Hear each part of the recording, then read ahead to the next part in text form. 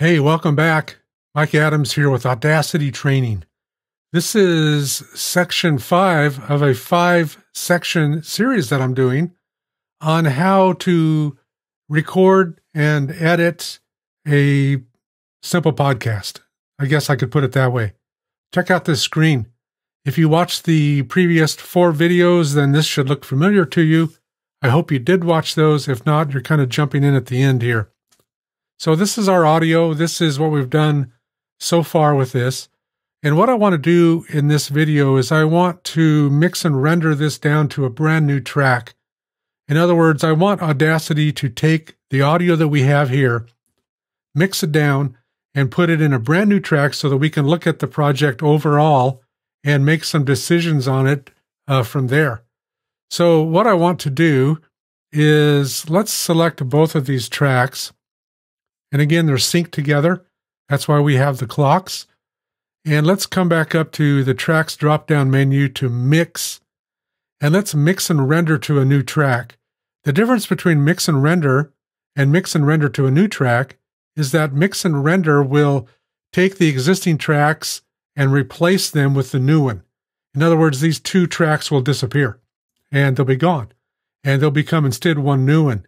If we do mix and render to a new track, these two tracks stay intact, and we get a third, in this case, a third additional track. So let's use the mix and render to a new track setting, and let's click on this and see what it'll give us. And just like that, we have a new track at the bottom of our project, and this new track is a combination of the two tracks above it. They're mixed together so that we can see them better in one track. We can get a better uh, visual representation of what they are. Now, because we have sync lock tracks turned on, that bottom track is synchronized to the top two. I don't want it to be. So let's separate them. And the way we separate sync lock tracks from each other is we insert a label track in between them. So let's come up to the tracks drop down menu one more time and add new. And this time we're going to add a label track. And when we add the label track, it always puts it at the bottom. We don't want it there. We can drag it up or we can come to the three dot method and we can say move track up.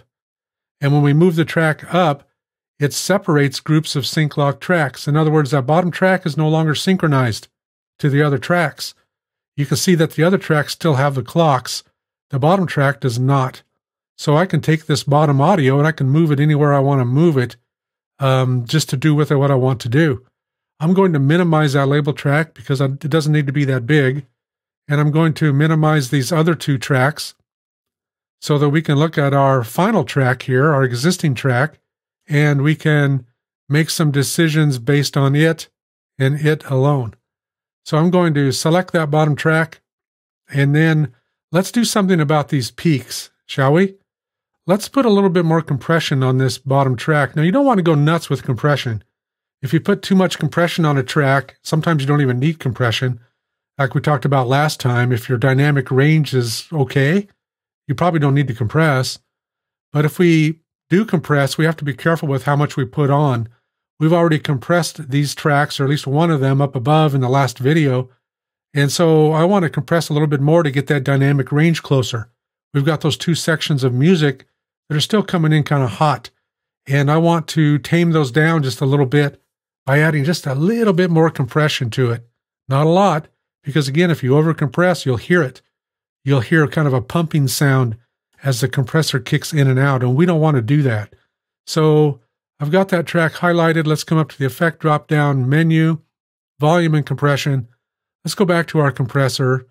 And this time, let's leave it set at about a negative 12, negative 12.5 is what I have here. We'll keep the ratio at a 4. Uh, we've made the knee a little bit sharper there so that it's the compressor is going to uh, react a little bit different now. We're leaving the other settings pretty much as they were. And I'm going to click apply and we'll see the um, those high peaks kind of brought down closer to the low peaks and the low peaks brought up just a little bit to match the high peaks. So I'm going to click apply. And that gave us just a little bit more compression on it. Again, I don't want a whole lot. Uh, we're not at that point yet. Now, the next thing that I want to do is I want to loudness normalize not normalize, but I want to loudness normalize this track, LUFS, L-U-F-S. I want to get this track to a negative 19 LUFS, negative 19 dB of LUFS. LUFS is perceived loudness. It's the perceived loudness of our track or a project or a file overall. It's not really based on peaks, it's based on the overall loudness of the track. And for a mono podcast, the LUFS uh, level should be a negative 19 dB LUFS. For a stereo podcast, you want to shoot for a negative 16 dB of LUFS. This is a mono podcast, so let's put loudness compression on it or loudness effect on it to a negative 19. And to do that, we come up to volume and compression once again, to loudness normalization, not normalize, loudness normalization. And we make sure that our perceived loudness is what we have selected. I can also select RMS loudness if you're doing ACX audiobooks. This is where you want to level the RMS loudness. We're not going to do that. We're going to go to perceived loudness, which is LUFS, and we're going to shoot for a negative 19 dB of LUFS. We don't care about normalizing stereo channels. We don't have any. That last thing that says treat mono as dual mono recommended, I don't recommend that. I don't know why it says recommended.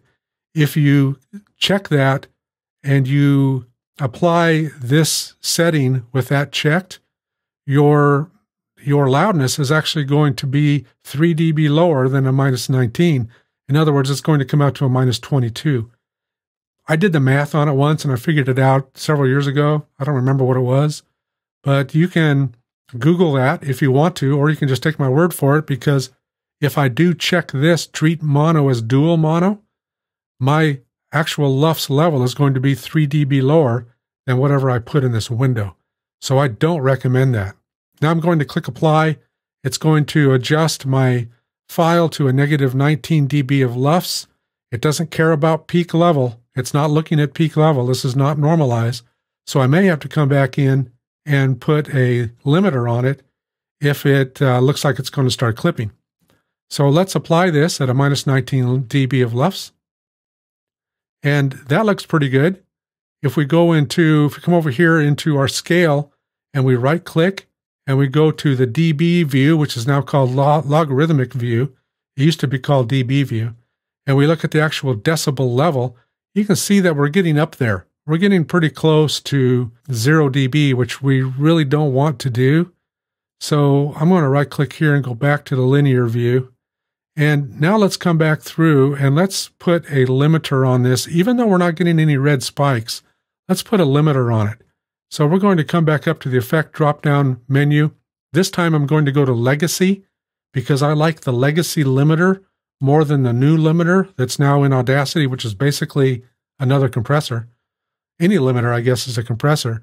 But the legacy limiter for me is just a little bit easier to work with. So let's bring up the legacy limiter.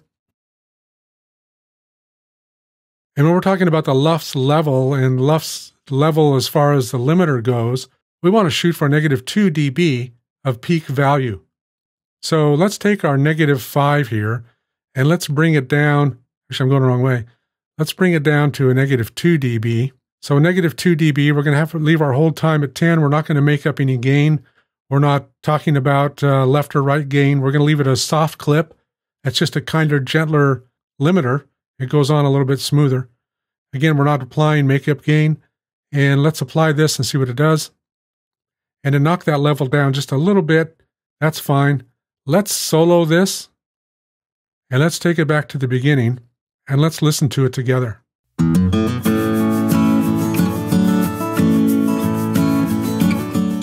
Welcome to the Fake Podcast. This is the podcast about nothing, and I'm glad you're here.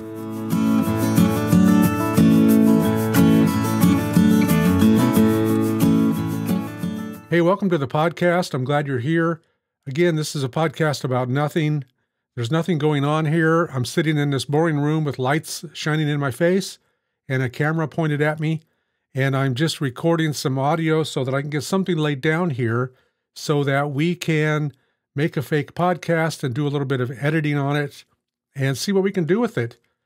So that's about all I have to say. Hey, thanks for joining me on this uh, riveting podcast. I'm glad you joined me. I'm glad you're here. And in the next episode, we will continue on this journey. So for now, take care.